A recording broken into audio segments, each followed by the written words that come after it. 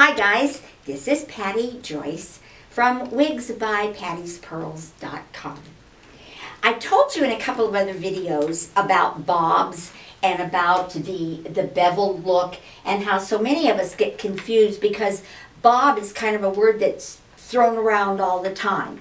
Think of the older word, page boy, or think of bob and what bob means is the back comes down and under.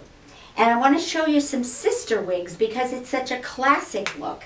This is called Paradox by Gabor. And again, the color is Mocha Mist, which is beautiful.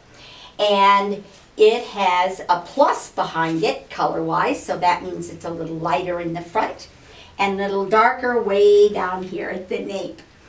Anyway, this is your bob with some bangs. It has smart lace and it has a mono top.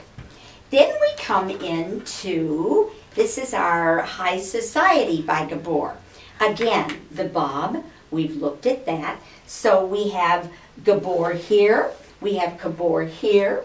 Then we have Jon Renau, and this is called Kristen, and it's a bob, and it has smart lace and machine made back and it's beautiful. I love the front with the smart lace. You see, you can get that uh, little center part that goes boop, boop. Or if you prefer, remember, I always tell you this, we can wet it and cut bangs.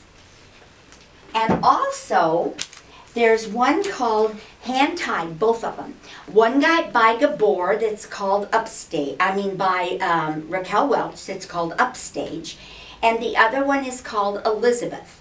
Now both of them have a little bit of flip in the back. I always cut that off because the women want a bob. I would say 85% I cut it off. But I just wanted you to know all these sister wigs. What does that really mean, sister wigs? It means that your choices of a cap, your choices of manufacturer, your choices of color, just jumps up to twofold, threefold, fourfold. So you have bigger choices. Maybe you've fallen in love with the color called Almond Mist. It's just beautiful. Well, I don't see almond mist in anything but the Gabors. So maybe you now know you can get two bobs from Gabor and you can get the color you want.